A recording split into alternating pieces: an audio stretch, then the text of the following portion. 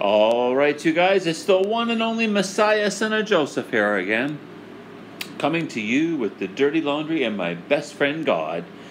I just thought I'd ask God to uh, create some signs in the laundry to confirm that He's here with me.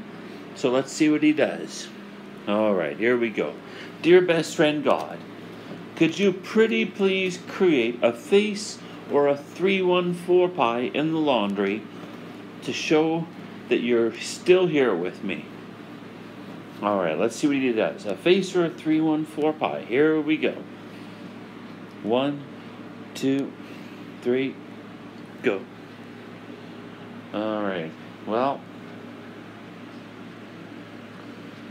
I'm not seeing a face.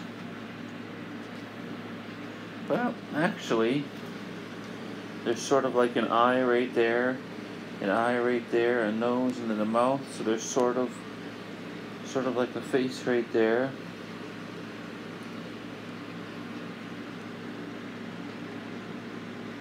And uh, let's see here. Well, there's sort of. It's like a fat, bubbly, screwed up three. There's just a little tiny bump there in the middle for a three, one, four right there. But uh, we'll try again now and and see if we can get something better because uh, I'm not really seeing anything super good. Well, actually, there you go. There's there's an eye right there, an eye right there, a nose, and then a mouth. So we sort of got a face.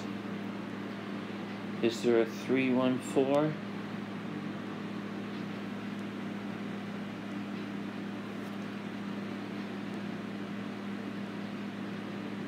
No, I'm not. Uh, not seeing a three one four, but we sort of got a face there.